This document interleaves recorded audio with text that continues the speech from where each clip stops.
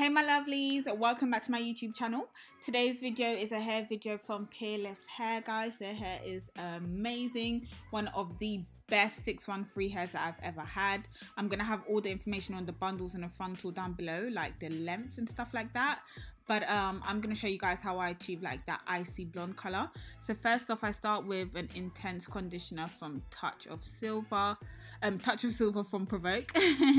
and then um, I use like a bowl and then I put some hot water from the kettle and then I add that conditioner in there. So I sort of co-wash the hair before I dye it or do anything like that just to lift whatever it can with the purple I was about to say purple shampoo but purple conditioner so I just mix that in using a wooden stick and then I literally remove all the labels from the bundle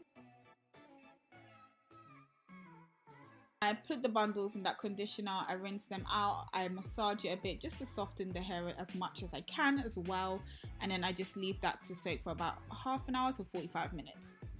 Let's just say that half an hour and 45 minutes has gone by and I have rinsed out the hair, I've left it to dry and it's ready to dye. So first guys, I'm gonna grab my L'Oreal Excellence Pure Blonde Hair Dye. This one is really good. It's an advanced ultra lightening cream. You guys are gonna see how, yeah, this is what I wanna show you guys the color chart how it turns like light brown and blonde to like this super icy blonde.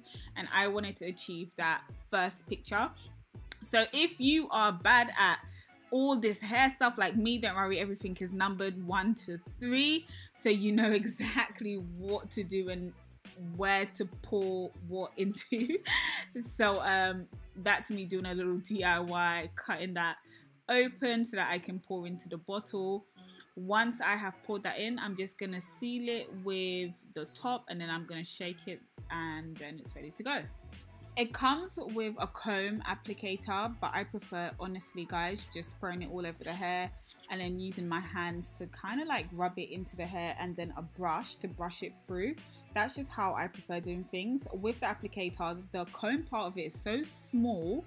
Um, I don't, it wasn't doing a very good job at all. It wasn't detangling the hair if it got tangled and that was not good. So I prefer just using my own detangling brush and, you know, my hands or whatever.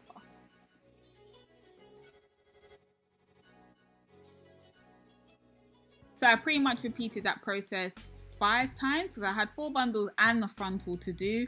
So I'm doing the same thing for my frontal. I've already done the bundles at this point and the bundles are just sitting aside dying in the dye and um, yeah we're just gonna do the same with the frontal with by the time I got to the frontal I had quite I had a lot of the product left behind actually so a lot of it went into the frontal and that's what I wanted because I would hate if all the bundles got all the dye and then the frontal was kind of left with nothing.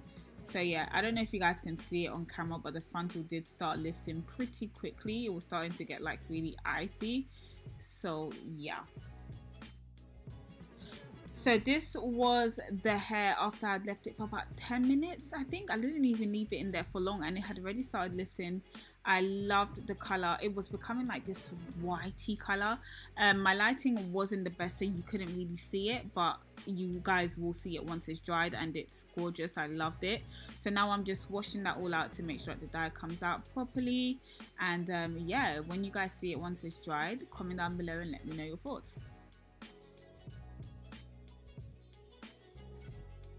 So guys, this is the hair. Yeah definitely gone a lot whiter.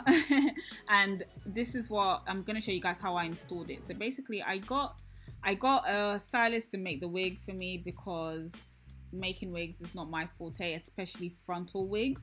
So before i like glue it down with Got2b i just put it on my head to make sure that the placement was okay. I put the Got2b, I sprayed it twice until it got extra tacky. And then once that was ready to go, I just placed the lace on the part where I applied the Got2b The thing is, with frontals, I would never advise sticking it down all at once because it will dry really quickly. So I just start with the center and then I do the sides after, just because the sides take a, li a little bit longer because they always tend to lift first. I'm just doing that with a tail comb, so it's not that hard. Um, that's me now doing the sides and then sticking it down with the help of that tail comb. Whilst I'm doing that, I just want to talk to you guys about the hair. Guys, the hair itself is actually amazing. Um, it's super silky. I just wish at this part I had mousse because if I had hair mousse, it would have been easier to keep the stray hairs away, but I didn't. So I just had to stick it down like that. The quality of the hair is phenomenal. I just wish that the lace was Swiss lace. This hair, this lace I believe is French lace as it's a little bit thicker. If it was Swiss lace, the melt would have been so much better. This is obviously me with makeup. There's no way I wasn't going to show you guys how this hair looks with my makeup. It looks amazing. With the stray hairs and flyaways, I would either use like a lightweight serum or a light holding spray just to keep them intact or wax if it was at the top of the hair. I would just use a wax to wax it down. But other than that, guys, the hair is really nice. I'm going to leave everything down in the description box down below. Comment down below if you've tried Peerless and I can't wait to see you guys again. Bye.